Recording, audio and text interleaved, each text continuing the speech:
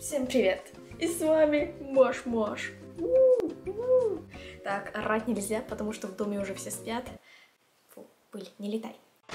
Это видео посвящается 20 дополнительным фактам обо мне. Эффект. Я знаю, я до сих пор не научилась добавлять эффекты красивые, поэтому... Пш-пш-пш. Я так давно не сидела перед камерой, и я так просто... Воу, камера. Привет. Мгм. И нет, в этих фактах вы не узнаете, какого я роста и сколько мне лет, или сколько я вешу. Потому что мне кажется, что вам не обязательно знать это. Ладно, еще ладно. Возраст мне 17 лет. Хорошо. Через несколько месяцев будет 18. У меня проснулась с недавних пор любовь к носкам, типа, о боже мой. И знаете, почему она вообще проснулась? Потому что я, я снимала HP для своего канала, и он все время рекламировал там свои носки. И я такая, блин, я вот при монтаже все время на них смотрела, думаю, а реально крутые носки. Типа, это же как-то как фишечка человека, типа, крутые носки. Я тоже такую фишечку хочу иметь. И поэтому я начала любить носки. Посмотрите, какие крутые носки. Это новые носки. Вот я завтра пойду в них. Ой, посмотрите на эти носки.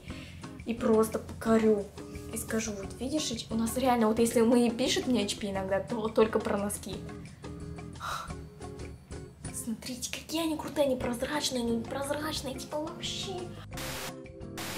Я обожаю вены на руках. У меня есть фотография даже, я, я не знаю, я прикреплю его где-то здесь, вот она. Типа я такая, господи, у меня вены надо запечатлить.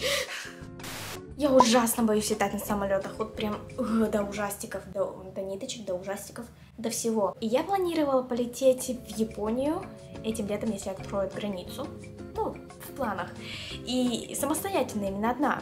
Поэтому я купила вот такую вот ручку, э, на Хэллоуин продавались, чтобы, знаете, когда лететь, вот так вот держать ее, чтобы не бояться. Я приобрела такую полезную вещь в своей жизни.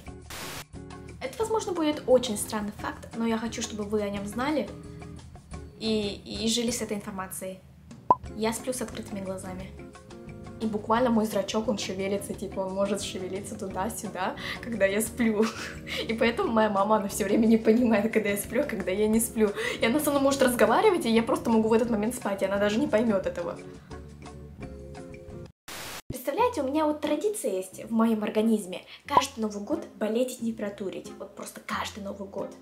И этот год, конечно, был не исключением. Конечно, исключение есть везде, только не в моем организме. Э, он не придает своих принципов.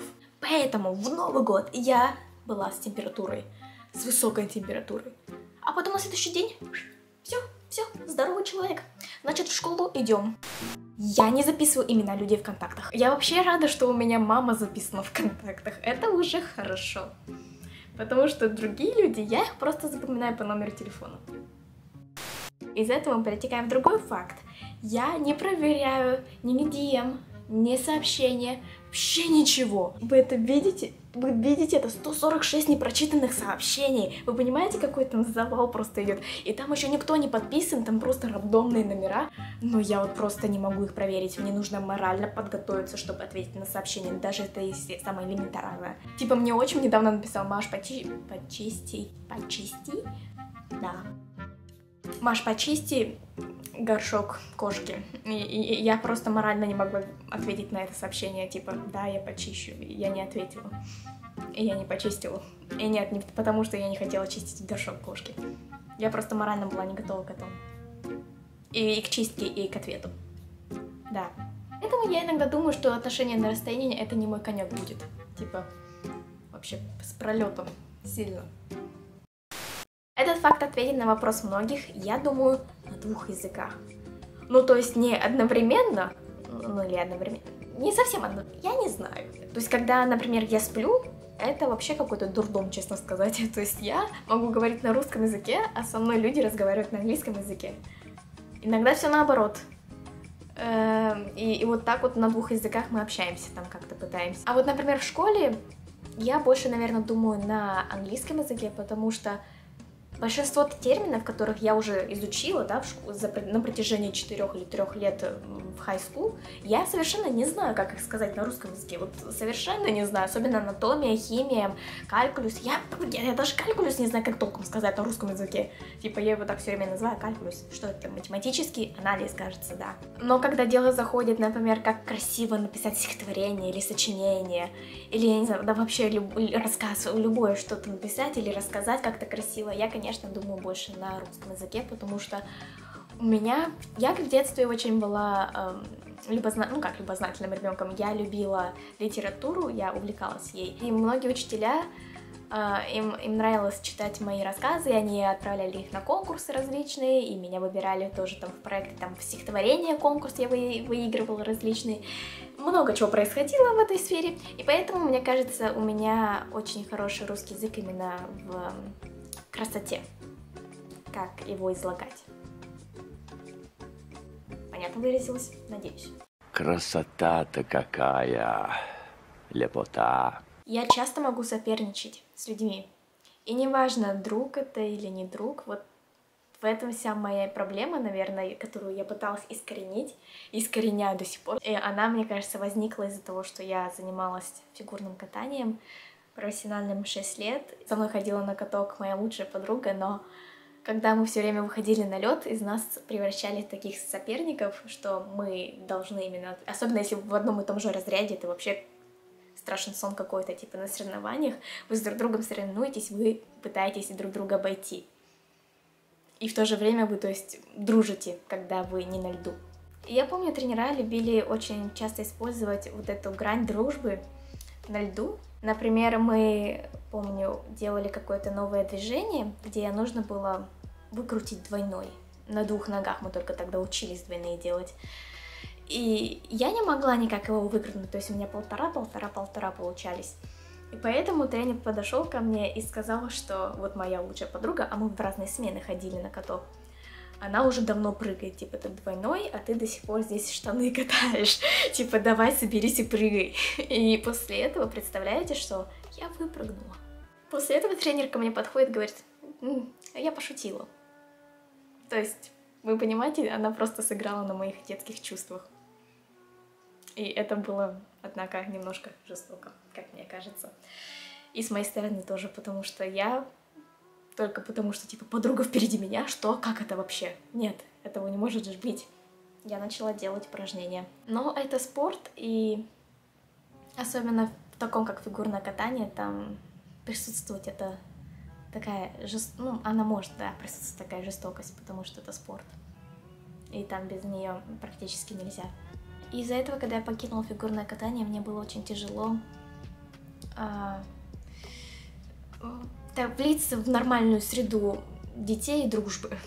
То есть я не понимала, как можно дружить и не соперничать, как так это вообще возможно. И мне было очень тяжело поначалу. Я могла бы быть хирургом. У меня когда был ТикТок, там э, были такие аккаунты именно хирургов, настоящих врачей американских, которые вживую проводили операции, типа, знаете, ну там все резали, вырезали, лили, заталкивали. Короче, все прям так вживую снималось. И этот контент не запрещается, как ни странно. И я такая, вау, как интересно. Когда мы недавно а, с классом по анатомии ездили в морг, все такие просто стоят с одноклассниками и белеют, и падают с ног, у них ноги трясутся, и я такая, воу. А мне интересно, я еще так, типа, смотрю на это, все такие, фу, как воняет, и я такая, ну да, воняет, но это же интересно, типа, ребят. И в то же время я вспоминаю, что я очень сильно любила дол до долгого времени смотреть лунтика. Вот это у меня, вот это у меня разнообразие, понимаете? Кишки и лунтик. Вау. Я странный человек, сплю еще с открытыми глазами, ё-моё. У меня никогда не было серьезных отношений. Да даже не серьезно, вообще никаких отношений у меня не было.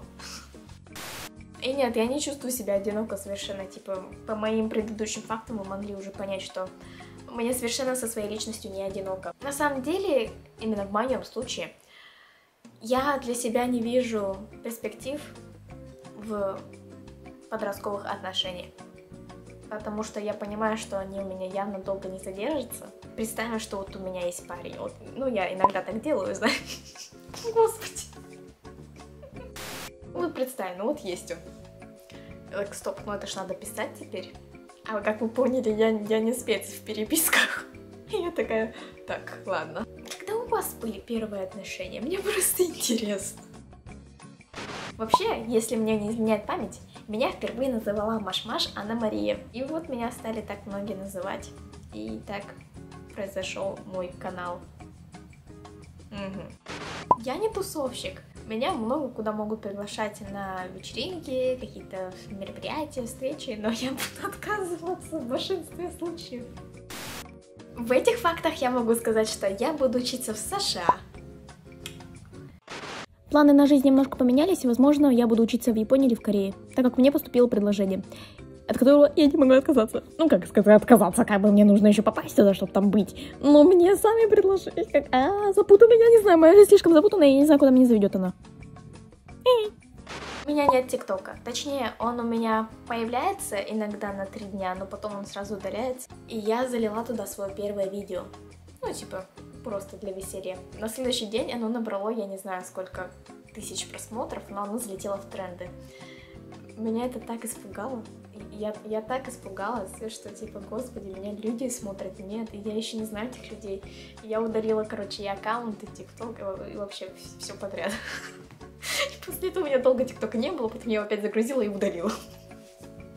В общем, теперь у меня его нет. Я ненавижу шопинг, просто терпеть не могу его. Я не знаю, у меня... Я когда провожу больше, чем, я не знаю, 38 минут на шопинге у меня отнимается все, ноги, руки, голова, вообще все, мозги в том числе. Даже если я себе что-то покупаю, это не приносит мне удовольствия, потому что я уже устала, я хочу спать, я хочу есть, я хочу домой. Поэтому шопинг нет, ни за что и никогда. Я совершенно не умею готовить. У меня мама, когда все время видит на кухне, она просто перекрестивает меня и говорит, Маша, уйди оттуда, уйди, не суйся, не нужно. И я так, понял, принял. И она это говорит по делу, типа, потому что она знает, что, что я уже совершала на этой кухне.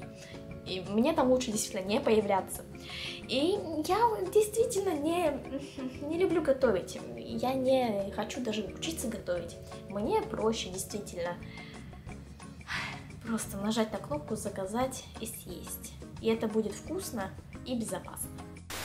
Если тебе понравилось это видео, поставь мне палец вверх, подпишись на мой канал, в комментариях оставь три факта интересных о себе, потому что прибавилось много аудитории с моего того видео последнего в фактах по мне, и мне интересно узнать свою новую аудиторию, что там у них, как. А если вы моя старая аудитория, напишите свои три факта дополнительных о себе, которых я еще не знала. А, чуть не забыла про колокольчик. Жмякни его. Ну на этом все. Бай! А я пошел спать.